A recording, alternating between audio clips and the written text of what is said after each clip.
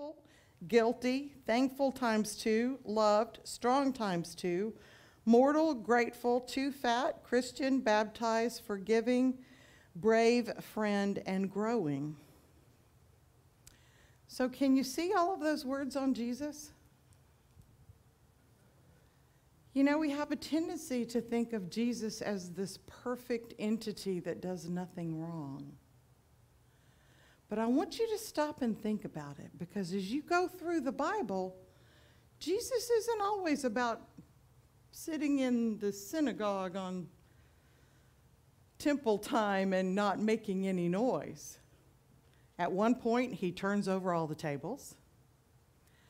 In last week's gospel, he called a woman whose child was dying or had a demon around her, called her a dog he gets angry. And today, alone in the gospel, three times, the word that is translated into our English slang, shut up, is used three times. It's the same word that's used when the big storm is coming and the disciples are afraid because of all of the wind. And so Jesus says the word, same Greek word that means shut up to the wind, and the wind stopped.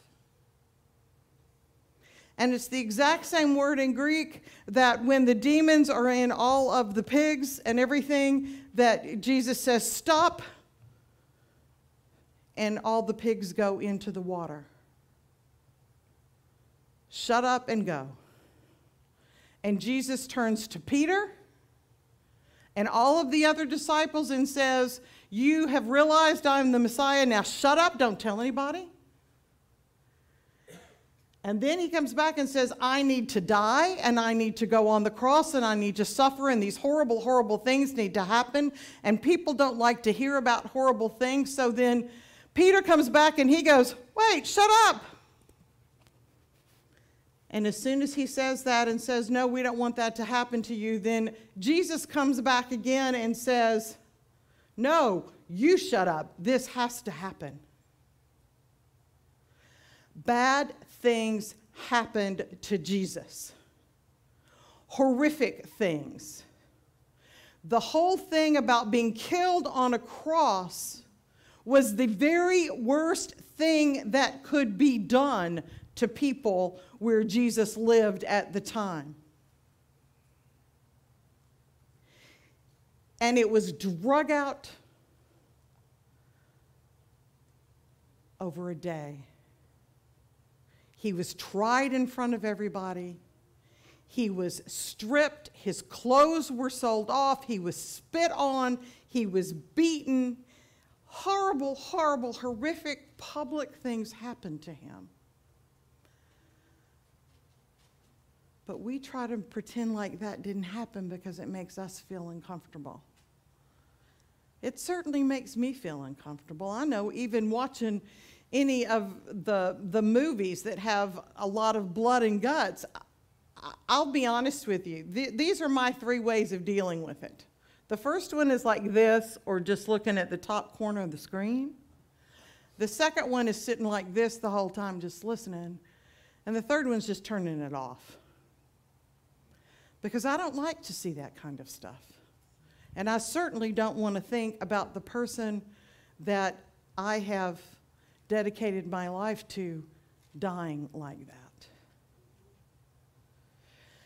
There was a time, oh, it's been in the last three or four years, maybe even as many as five, that buying these big, gaudy crosses was the thing, and Macy's had one in their front window that went from shoulder to hip, kind of like a bandolero style, and the cross sat at six inches tall and it was studded with all of these semi precious stones. And it was supposed to be this piece to go out and really show your faith, I guess, but it would be like walking around with a guillotine on your hip because it was a form of torture and a form of killing. We make dying on the cross not sound so bad.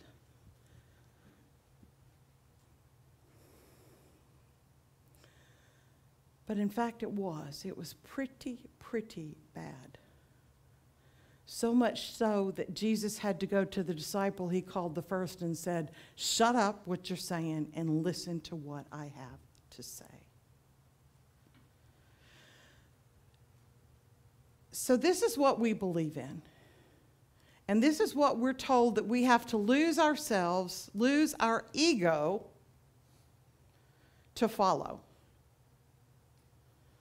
Is it something we really want to do, and what does that mean? So, this week, I put out a survey on Facebook. And I went into the Presbyterian clergy page and I said, Give me two words of what it means to be Presbyterian. And I went to the ELCA clergy page and I put, Give me two words of what it means to be Lutheran. Do you think they all agreed on everything? No. no. Which is what is so interesting to me, is because these are two faiths that we believe Yet there were all of these different opinions as to what the words meant. And I will have to tell you, I had well over 50 people responding on both sides, which I thought was ex- ex- excellent. So, with the Presbyterians, two people said free will, 15 people said reformed and reforming, or trans- and seven people said transformation. Eight said order, inspiration, and decent, which apparently is part of the creedal part of the first page of being Presbyterian. Six said committee meetings. Two said the frozen chosen. Um, then there were some single ones middle way, being church, rest in prayer, mutual, shared discernment, good scotch. I thought that one was a good one for Presbyterians to say. Um, 12 said grace and gratitude. And I thought, okay, that's a good place for the Lutherans and the Presbyterians to join. Uh, two, inclusive loving. Three, faith and social justice. Six, decent and orderly out of 1 Corinthians. Um, there's a tulip doctrine. How many people know what that is, Presbyterians? Tulip doctrine. It's the five points and it spells tulip and it's what the Presbyterians believe. I'm open and compassionate. Two said shared leadership. Five said intelligent and spiritual. Then we had potluck and casserole. That came over on both sides, both Lutheran and Presbyterian. Responsibility and contrarian. Um, two said we're connected. Two said corporate sin. Robert's rules, I kind of like that one. Christ like, go and teach, women equality, chaotic order. I thought, oh, that's just about any religion at this point. Two said elected service, one said yummy bread. Uh, sinful and graceful, two said task force, connected grace, mission focus, lapsed Calvinist. And so there's quite a few of them that just had one thing, but, but that was the most part. I really thought it was kind of interesting to see all the formed and reformed and then all of the order and the structure and the meetings and, and that, that's how Presbyterians themselves define themselves. So Lutherans came up. Lutherans, free and generous, and they had 5, 10, 15, 20, 25, 30, 30, oh, 52 graces. But they didn't just have grace, they had abundant grace, extravagant grace, proclaiming grace, grace alone, unconditional grace, boundless grace, grace space, abounding grace, acceptance, acceptable grace, inexhaustible grace, liberating grace, radical grace, inherited grace, amazing grace, underserved grace, abounded gra- unbounded grace, real grace, saving grace, lavish grace, realistic, misunderstood grace. I never knew there were that many kinds of grace. they had eight saint and sinner, and that's a big thing in the Lutheran Church. You're both and, saint and sinner. They had two for the Augsburg Confession, uh, two for Jesus Christ alone, 12 for unconditional love. And then love came up as unconditional, radical, incarnate, um, love, always, foundational love, and forever love. Then they had Living Faith, had two, Justice and Serve had two, Law and Gospel had two, Jesus' Grace had two, The World and Labor had two, Christ Suffered and Christ's Faith had three, Word and Sacrament were two, For You were two, Two Kingdoms, Freedom indeed were two, Constantly Reformed were two, Forgiven and Called, Free to Read Scripture.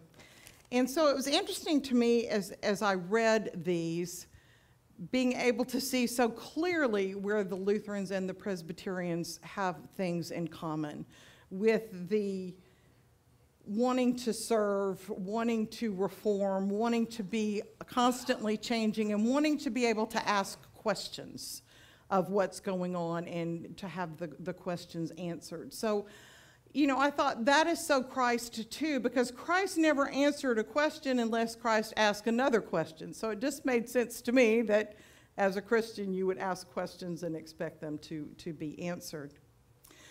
So we know that Christ was blessed Christ definitely was the child of God and beautiful and guilty and thankful and loved and strong and, and all of these others wonderful words. And the faiths that follow him are all of these things that both the Presbyterians and the Lutherans said.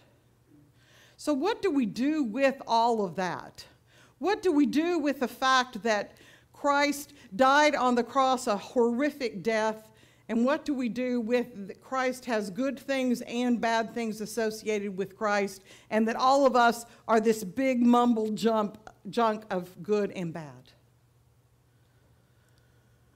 What we do is we sit with it and we accept it, that none of us are perfect and that none of us are horrible, that all of us are forgiven because of our faith and because of grace and not because we did anything. And what we do with it is know that we are loved totally and completely. And that we take that love and we go out into service. So, what I've got now for you to see is a video.